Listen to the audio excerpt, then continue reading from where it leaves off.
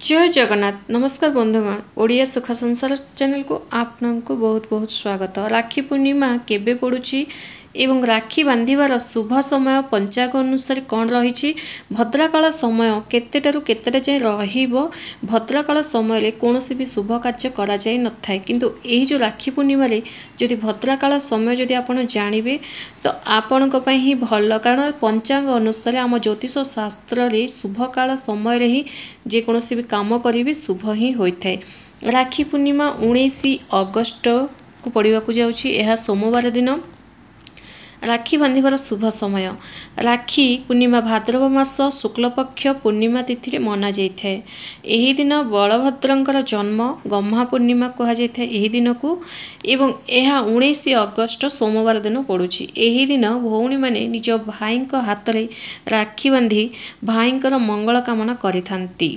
ଶାସ୍ତ୍ର ଅନୁସାରେ ରାକ୍ଷୀ କେବେ ବି ଭଦ୍ରାକାଳରେ ବନ୍ଧାଯାଇ ନଥାଏ।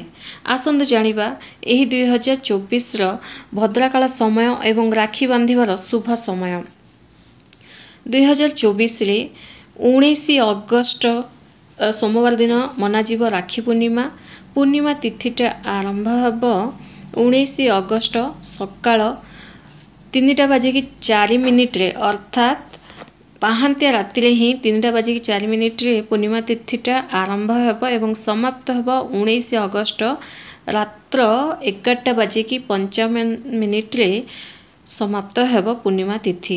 କିନ୍ତୁ ରାକ୍ଷୀ ବାନ୍ଧିବାର ଶୁଭ ସମୟ ଆରମ୍ଭ ହେବ ଉଣେଇଶ ଅଗଷ୍ଟ ଅପରାହ୍ନ ଗୋଟେ ବାଜିକି ତିରିଶ ମିନିଟରୁ ରାତ୍ରି ନଅଟା ବାଜିକି ଦଶ ମିନିଟରେ ଆପଣ ରାକ୍ଷୀ ବାନ୍ଧି ପାରନ୍ତି। ଏହି ବର୍ଷ ସକାଳୁ ହିଁ ଭଦ୍ରାକାଳ ସମୟ ପଡ଼ୁଛି ପଞ୍ଚାଙ୍ଗ ଅନୁସାରେ କହିବାକୁ ଗଲେ ଉଣେଇଶ ଅଗଷ୍ଟ ଦିନ ସକାଳ ନଅଟା ବାଜିକି ଏକାବନ ମିନିଟରେ ଭଦ୍ରାକାଳ ଆରମ୍ଭ ହେବ ଏବଂ ଅପରାହ୍ନ ଗୋଟେ ବାଜିକି ଅଣତିରିଶ ମିନିଟରେ ଭଦ୍ରାକାଳଟା ସମାପ୍ତ ହେବ।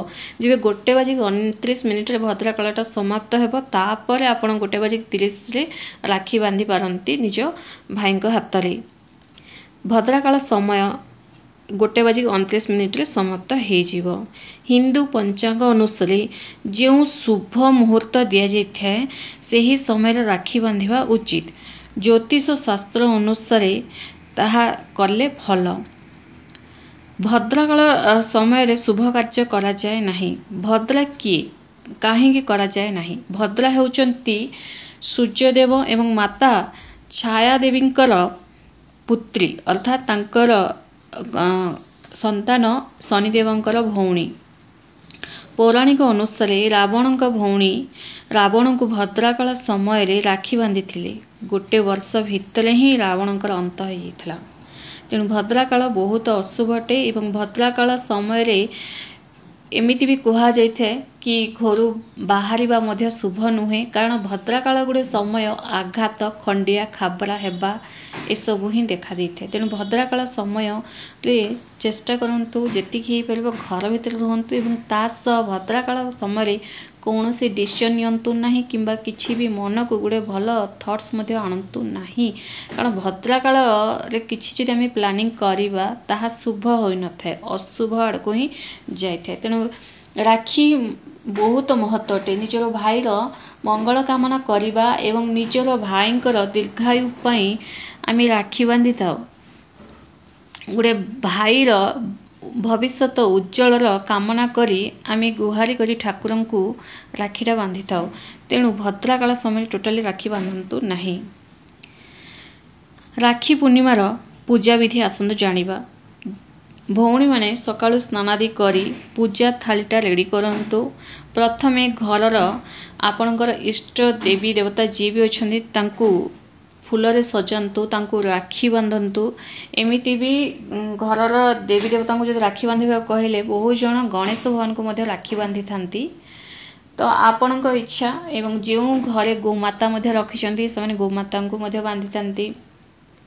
ତ ନିଜର ଇଷ୍ଟ ଦେବୀ ଦେବତା ନିଜର ଘରର ଠାକୁରଙ୍କ ଘରର ଦେବତାଙ୍କୁ ରାକ୍ଷୀ ବାନ୍ଧନ୍ତୁ ତାଙ୍କୁ ଧୂପ ଦୀପ ଦେଇ ଫୁଲ ଦେଇ ଭୋଗ ଲଗାନ୍ତୁ। ତାପରେ ଭାଇକୁ ଆସନ ବିଛାଇ ବସାଇ ଭାଇର ମଥାରେ ଚନ୍ଦନ ଟିପା ଲଗାନ୍ତୁ ତାପରେ ରାକ୍ଷୀ ବାନ୍ଧନ୍ତୁ ଆଳତି ଦେଖାନ୍ତୁ ଏବଂ ଭାଇର ଦୀର୍ଘାୟୁର ମଙ୍ଗଳ କାମନା ପ୍ରଭୁ ଶ୍ରୀ ଜଗନ୍ନାଥ ପାଖରେ ଗୁହାରି କରନ୍ତୁ। ଭାଇଙ୍କର ଭବିଷ୍ୟତ ଉଜ୍ଜଳ ପାଇଁ ପ୍ରଭୁ ଶ୍ରୀ ଜଗନ୍ନାଥ ପାଖରେ ଗୁହାରି କରନ୍ତୁ। ଏପରି ଯଦି କରିବେ ଆପଣଙ୍କ ରାକ୍ଷୀ ପୂର୍ଣ୍ଣିମାର ସଫଳ ହେବ ଏବଂ ଭାଇଙ୍କ ପାଇଁ ମଧ୍ୟ ଭଲ ରହିବ। ଧନ୍ୟବାଦ।